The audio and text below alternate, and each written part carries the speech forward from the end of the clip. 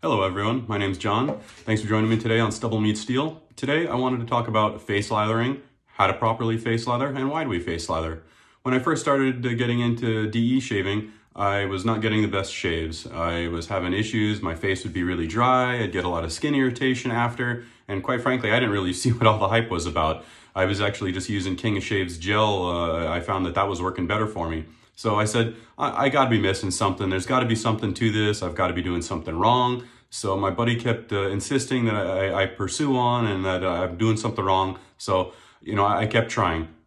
And what I found was I was not hydrating my soap enough and I was not getting enough cushion. If you're not adding enough water to your soap, it's not going to build up enough cushion to protect your face and you're not going to get the slickness the potential that that particular soap provides. And that's what i found was the key that i was missing.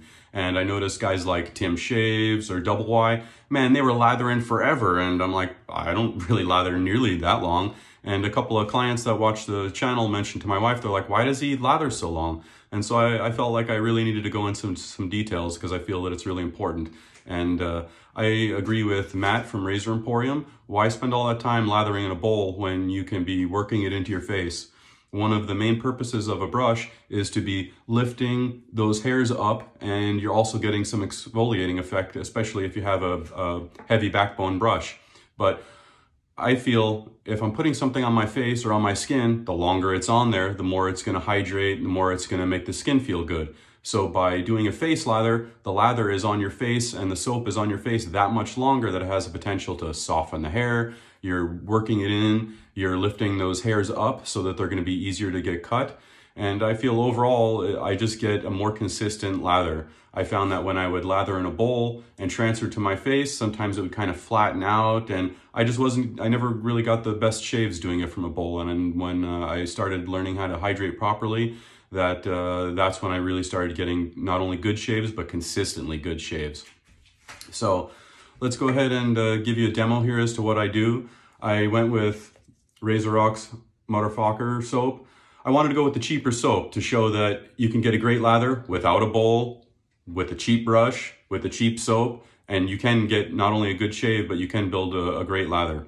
So what I like to do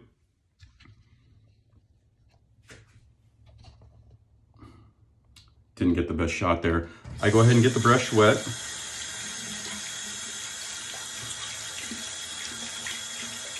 I just saturate it under the faucet here. And then as you can see, the water runs out. I basically will just let the water go like that until the water runs out, stops dripping. And then I do, and then I slap it down about three times. And I find that that's a really good combo. And then I'm gonna put the camera downward to try to get into the puck here. One of the keys that I find is, one, I hold it sideways. I saw somebody saying that that's kind of a key to help it drive into the bristles of the brush.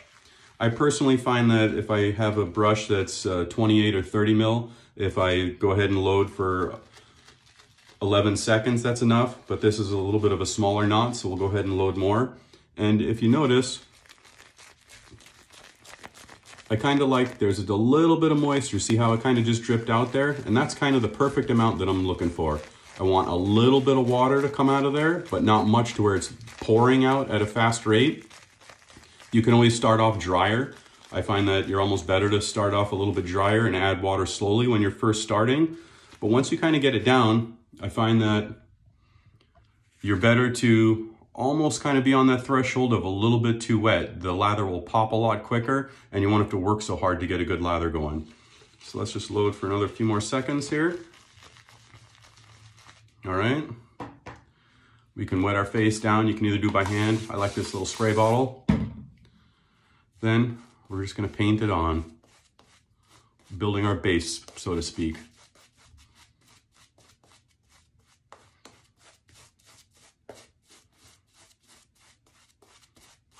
find it works good if I go against the grain of the hair. It really picks into the picks up into the hairs well that way. Okay, so now we got a pretty good base. It's nice and thick and pasty, and that's kind of what we want, is that consistency there. You can see it's not volumized yet, but it's not watery and bubbly or anything either. So now what we do is we push down to do what's called splaying the brush. And you see how the brush spreads out or splays as it's called?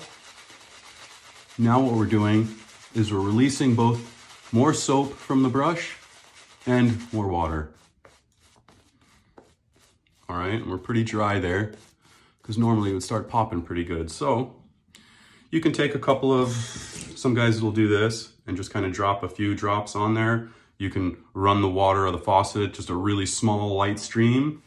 And then what you're gonna do is paint that water that you put on the brush into the lather.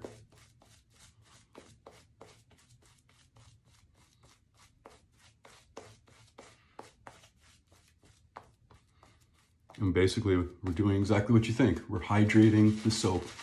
By adding water to it, that's what's gonna get it to pop into a nice, thick, cushion-filled, slick lather. We're still very dry here, so we're gonna add some more water with the spray bottle.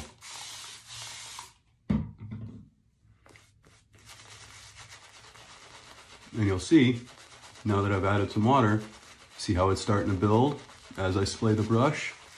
It's because we've started to hydrate it.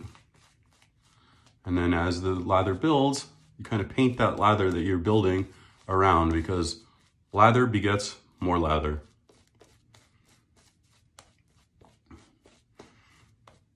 Now, truth be told, you could just shave with this, but I feel that we're just starting to unlock the magic of the soap and that we can definitely put some more water in. So that's what we just did. I really like the spray bottle. A lot of guys just do the drip method or under the sink. I find it's always hard to get the faucet to do that tiny little trickle. So I've been using the spray bottle and I really kind of like it. Just makes it simple and easy. Always got it on hand. Water lasts a long time in the bottle. You don't have to fill it often. I saw a couple different guys using it. And once I started, I really liked it.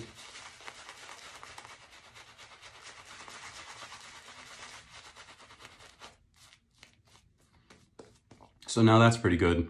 See, what happens is as you add more water, you get what's called cushion. And what that means is if you take the soap between your fingers and go like this, you can literally feel that there's a layer between your two fingers. And that's what you want because that means that when you're gonna be shaving with it, it's gonna be that cushion, as it's called, layer between the blade and your face. Double edge razor shaving definitely requires more cushion in my experience than a cheap little cartridge razor. So that's really why you want the cushion.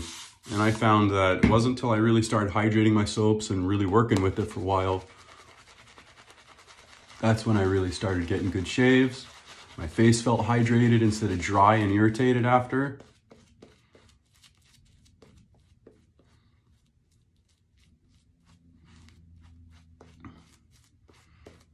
And don't be afraid to play around in the beginning as far as how many seconds you load the brush, how much water you start adding, and play around a little bit till you kind of get it down.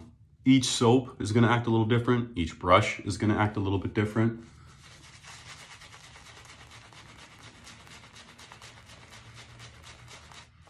And truth be told, I probably would have already started shaving, but I just wanted to show what happens when we keep adding water. And you can see that not only can this soap take a lot of water, but you keep adding more volume, more volume, more density, and more cushion. Now, yes, of course you can add too much water, but truth be told, I've never actually even done it. I don't, I'm not gonna say it's impossible, but you'd really have to get carried away for that to happen, in my opinion. I find it's much easier to do that in the start by adding too much water versus slowly, gradually adding water. And then you see how we've got this nice volume, voluminous soap built up. We have nice cushion. When I slap the brush down, I feel soap. I don't even feel my face right now. It's just basically a thick layer of cushion that I built up to provide a nice, slick, cushioned shave. Everything is well lifted and hydrated, both the soap and my face now. And I wanted to show that with not my favorite brush, not my favorite soap, that I can still get it done and that anybody can build up a nice, great face lather. When you first start, start with a small amount of water and slowly add up. once you kind of get a little better with it, like I said, I find that there's that sweet spot of almost adding too much water. And boy, you'll just, after you hit that first layer of base on and you splay the brush, it'll just pop. And sometimes I don't even need to add water. I get the mixture just right, especially with those bigger brushes. And that's really all there is to it. If you load the brush enough, there should be more than enough for a good three or even four passes in here. And then I just put the remaining on the brush at the end of my shave on my face and I leave that on there. So that way when I'm cleaning up, it's just hydrating and soaking into my face. And I find that that's the key to a great post shave for me personally. So that's how I personally do it, guys. And for what it's worth, we have extremely hard water here. I find that I literally have to replace my kitchen faucets about every two years because I don't have a water softener system. And the water is so hard that the calcium and minerals build up in the uh, faucets and the appliances that quickly. So it's not that we have great water here either. Keep practicing at it and uh, you too can have a sweet Santa Claus beard. And uh, I uh, would be shocked to find that if you don't moisturize and hydrate everything really well, that you'll get some of the best shaves that you've ever had. I urge everybody that's a bowl person that lathers in a bowl to try a face lather and see what you think of it. I think that I personally find for me and my skin type that it's a superior shave and a superior experience. So that's it, everybody, for today's face lather. I hope you learned a little something today. I hope I made your journey of uh, wet shaving a little bit easier.